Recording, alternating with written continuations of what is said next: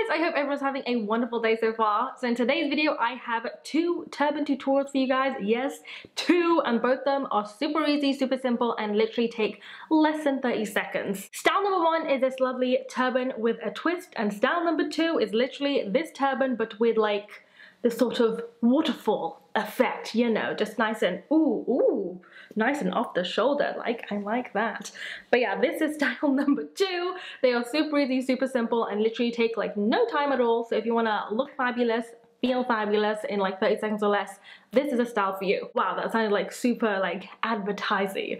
But yeah guys, if you'd like to see how I did these turban styles, then all you have to do is keep watching. Okay, so the first thing that you're gonna need is an underscarf just to keep everything nice and in place so your scarf doesn't slip and slide and move everywhere. So once you have one of those, you're just gonna pop on your scarf like so. And as for my scarf, I'm using a crinkly maxi hijab, which means it is ginormous. So what I tend to do with these scarves is just fold it in half, just so it's like a bit more easy to work with. And of course, if you like to secure it all in place, you can use some hijab pins. I just use like these standard straight hijab pins that you can get anywhere. But yeah, that's it for things that you need. Okay, so you're gonna start off with your underscarf on and then you're gonna get your hijab and put it on your head like so like that and you're gonna have one side that's quite long and one side that's short the short side for me kind of comes down to like mid thigh and the long side as well just the rest of the length and what I'm gonna do is I'm just gonna get the scarf put it behind my back like so and I'm going to flip them so this side comes to this side and this side goes to that side so literally just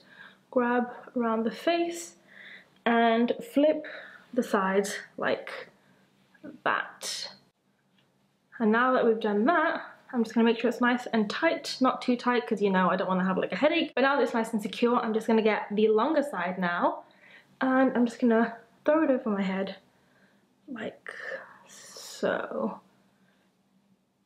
I've done that, I'm just going to create some folds just have a little bit of volume. And to create folds, it's literally just a case of like, just pulling up the fabric and folding it like that. And now that I've done that, there's one more thing to do, which is to fold in this little part right here. So if I turn around like so, you can see I've got this nasty little tail kind of thing. And I'm literally just gonna grab it and tuck it in. Let me try so you can see. Literally grabbing it and just tucking it in here.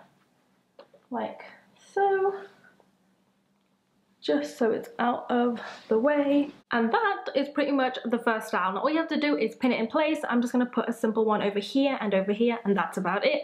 If you're using a silky scarf, definitely go for more pins, but with the scarf it's kind of textured so it generally tends to stay in place. But yeah, that is pretty much style number one. Now style number two is a continuation from this style right here. So what you're gonna do is you're literally gonna grab these two pieces that you have here and you're gonna twist them. So I'm just gonna twist and twist and twist and twist until you have no more.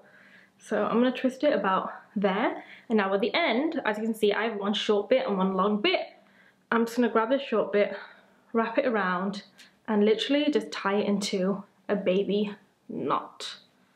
Like so, ba-bum, and then I'm just gonna tuck in the excess. And yeah, that is style number two. Super easy, super quick, literally took like less than 30 seconds to do this whole thing. Now I've obviously just tied this part down here, but if you want to be a bit more secure, you can just get a safety pin. But like I said earlier, this scarf is a bit textured, so if I tie it, it generally just stays in place all day.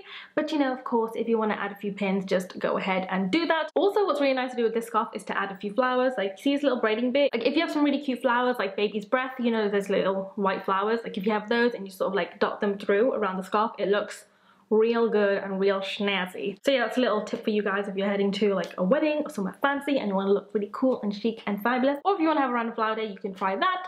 But yeah guys, that is this whole video. Those are the tutorials I have for you guys. Literally the quickest turban tutorials ever. But yeah that brings us to the end of the video. I really hope you guys enjoyed this and hopefully it was helpful you guys. If you guys like to see more tutorials from me, then do let me know in the comments down below and of course give this video a thumbs up if you enjoyed it. Remember you guys can follow me on social media at Saima Smiles Like for Instagram, Snapchat, Twitter, Facebook, all that good stuff. I generally tend to post a lot of stuff on my Instagram so if you want to head over there, I've got some cool stuff going on. But yeah guys, that is this whole video. Hope you guys enjoyed it. Hopefully it was helpful you guys and I'll see you in the next one. Bye!